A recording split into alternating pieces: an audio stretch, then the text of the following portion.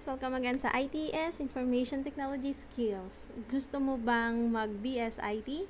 On today's video, pag-usapan natin yung most asked questions about BS IT. Sa video na to guys, pinili ko na lang yung mga ipopost natin dito na questions because most of the questions, pagkakapareho lang naman yung thought. So the first question is, galing to kay Sandro Francis Delgado. Ate, ano po bang strand ang kukunin nyo kapag BSIT ang iyong pipiliin? STEM or TVL ICT? Then we also have the same question galing naman po kay Jean's husband. Tanong lang po, pwede po bang mag-IT kahit TVL kinuha nung grade 11 to 12?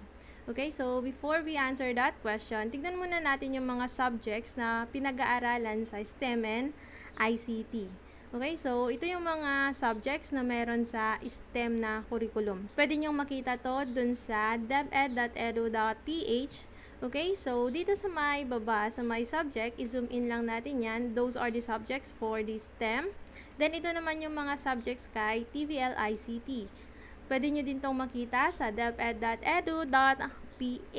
Okay, so ngayon, tignan natin yung mga subjects ng STEM. Sa STEM guys, meron kayong mga calculus, biology, physics, chemistry. Okay, so ang STEM, nagpo-focus yan sa mathematics and science. While dun sa TVL ICT, kung makikita nyo, meron kayong computer system services, illustration, computer programming, animation, and others. Okay? So, kung papansinin natin, mas nagpo-focus ang TVL ICT sa computer services. Okay? In which ito din yung mga subjects or mapapag-aralan kapag kumuha kayo ng BSIT. Okay? So, sa strand guys, I suggest TVL ICT ang kukunin nyo kasi mapag-aralan nyo dito ang programming, animation, illustration, database management, um, basic freehand drawing skills, illustration and sound design, and of course, animation. Okay?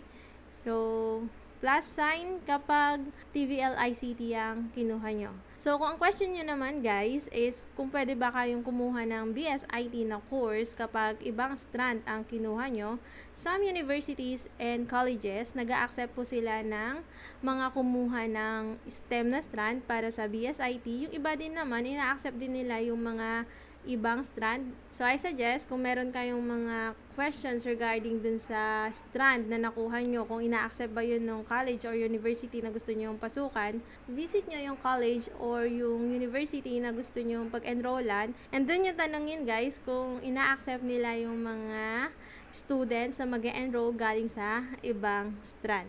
So, next question tayo guys. Galing ito kay Jesus Rafael Rojas. Okay, so hello po. Ano pong course na focus po siya sa software or programming or coding? Okay, so ang course guys na nagpo-focus sa software, programming or coding is pwede yan yung BSIT, BS, CS, kung minsan meron din yung BS Engineering. Okay? Pag IT po ba, pwede bang mag-specialize sa software? Of course, guys, pwede kang mag-specialize sa software development kapag kumuha ka ng IT. Just like later on, kung meron kang isang programming language na gustong pag-aralan, pwede ka doon mag-focus and yun yung i-develop mo para sa skill mo. Okay?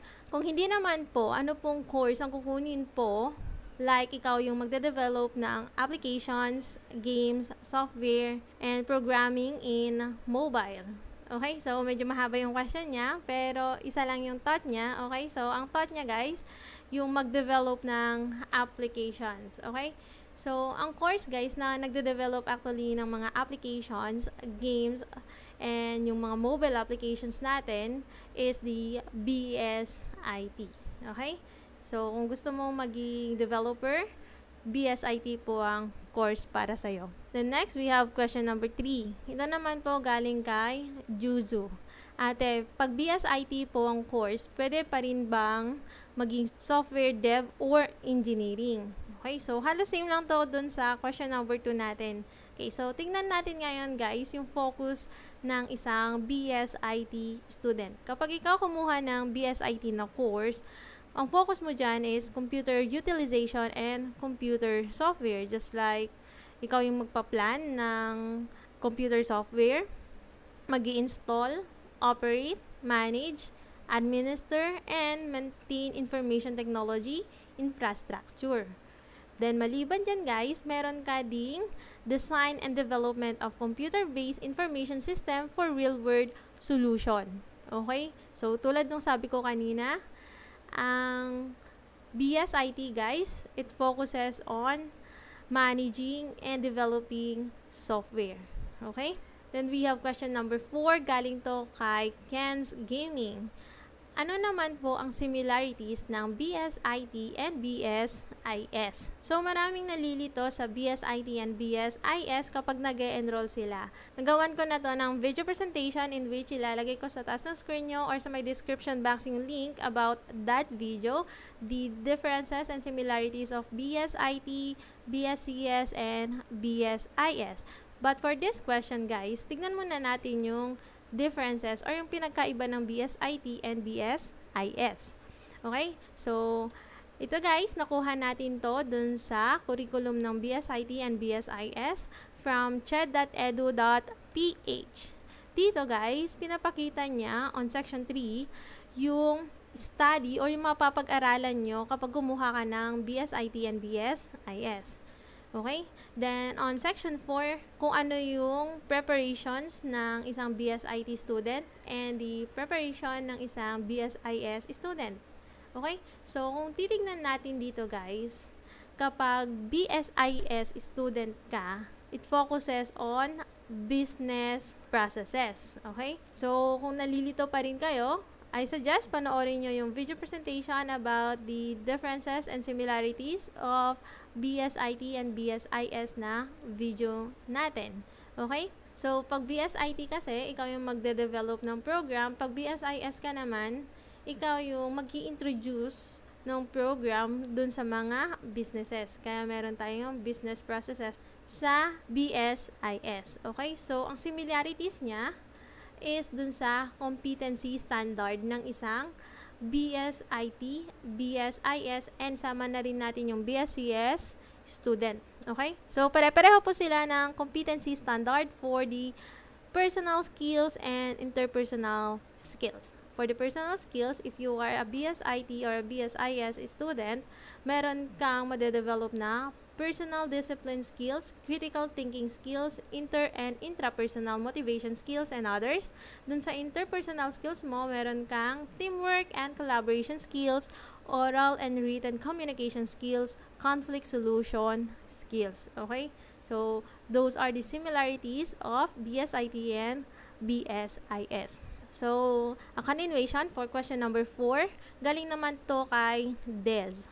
Currently, a BSIS student mas onti po ba ang job opportunities sa course na to? Okay, so tignan natin yung career opportunities ng isang BSIS graduate. Okay, so if you are a graduate of BSIS, pwede kang maging system trainer. System trainer guys, ikaw magte-train nung mga employee dun sa isang business kapag gagamitin nila yung system. Meron din tayong support specialist. Alam natin to lahat. Ito yung mga tinatawagan natin kapag meron tayong problem sa isang device. Then we have the e-commerce developer which is napaka in demand nowadays kasi most businesses gumagawa na sila ng mga e-commerce sites nila. Then we also have the enterprise system manager. Ikaw yung magmamanage ng system ng isang business then the business analyst. So, kung titignan natin yung career opportunities ng isang BSIS student or graduate, um, it connects with the technology and uh, business processes. Then, maliban dito guys, maliban sa BSIS students or graduates, pwede din naman tong maging career opportunities ng mga BS IT graduates. Okay? So, maliban dito, ang BS IT graduates guys, pwede ding maging Computer and Information Research Technologies, Computer Network Architect, Computer System Analyst, Information Security Analyst, and Software Developer. Okay? So, ito din yung other career opportunities for a BS IT graduates. So, kwentuhan muna tayo guys. Meron tayong magkaibigan dito. So, yung isa nagtanong, Bro, bakit ka nag-IT? Sagot naman ng isa, kasi balita ko walang math yun. Then here I am. What? Walang math sa IT? Okay, so that is the question number 5. Wala nga bang math sa BS IT? So ngayon guys, tignan natin yung mga subjects sa BS IT. Nakuha natin tong mga subjects na to sa curriculum ng BS IT from ched.edu.ph. So pwede nyo ding i-visit yung site na yon. Okay, so sa first year ng pagiging BSIT mo, tignan natin kung meron siyang math. Okay? So dito makikita nyo meron tayong algebra sa first sem. Sa second sem meron tayong trigonometry. Sa second year ng pagiging BSIT mo, sa first sem niya meron tayong accounting principles. Sa second sem, meron tayong probability and statistics. Maliban po doon, meron din tayong mga subjects na science in which alam naman natin na yung mga science meron ding math yun. Okay, so kung iniisip nyo walang math sa BSIT, that's a myth guys. Okay, wala pong katotohanan yon kasi there is a math in BSIT. So that's it guys. Those are the questions na natanong po sa atin. Kung nakatulong tong video na to, don't forget to like, And kung gusto mo pang matuto about computer programming, don't forget to subscribe and hit that notification bell for more tutorial videos. Bye!